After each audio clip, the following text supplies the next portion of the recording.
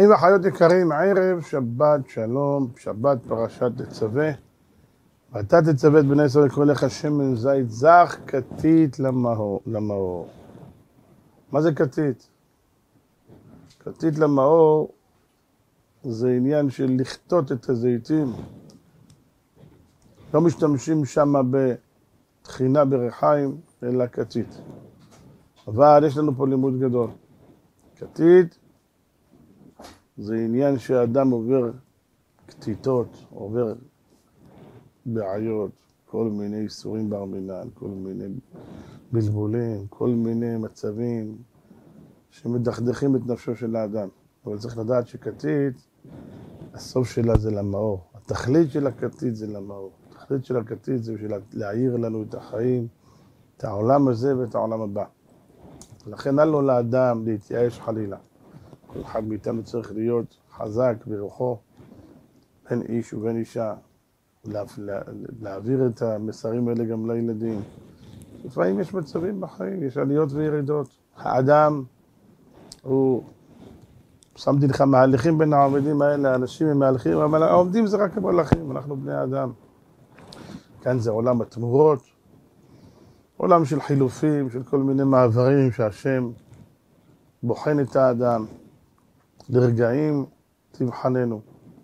ולכן כל אחד צריך לדעת להיות חזק, ולדעת שהמבחנים הללו הם הם שמעלים אותו. עשרה ניסיונות נתנסה אברהם אבינו, ניסיונות בלשון נס, מגביהים את האדם, מרימים אותו. יש לנו ניסיונות בפרטי ובכללי. כל עם ישראל עכשיו נמצא במצב של חוסר ודאות, פיגועים, השם יצילנו, כל מיני דברים ש... שממש מרופפים את הנפש של האדם, מצערים את הנפש, מדכדכים את הנפש, אבל צריכים להיות ביטחוננו בצורנו. צריכים להיות חזקים ולדעת שבסופו של דבר זה למאור. עם ישראל עתיד להיות אור לכל הגויים כולם. וכולם יבואו וינשקו את כפות רגליהם של עם ישראל, ויהיו מלכים ומנאף ושרותיהם מניקותייך.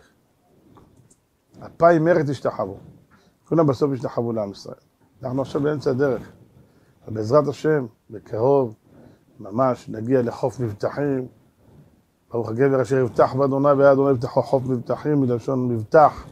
מי שבוטח, מי שסומך על השם יתברך, מי שמתחזק באמונה, ודאי שהשם יהיה איתנו, אז כמו שהיה עם אבותינו, ויגאל אותנו גאולת עולם.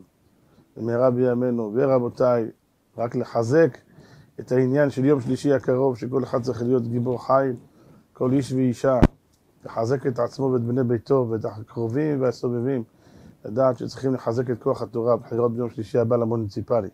צריך לחזק את כוח התורה. דעו לכם רבותיי, זה הכוח שמחזיק את עם ישראל, אותם נציגים בעירייה, שהם יראי שמיים, שהם שומרו לסטטוס קוו של השבת, של הכשרות, שדואגים למקוואות, דואגים ל...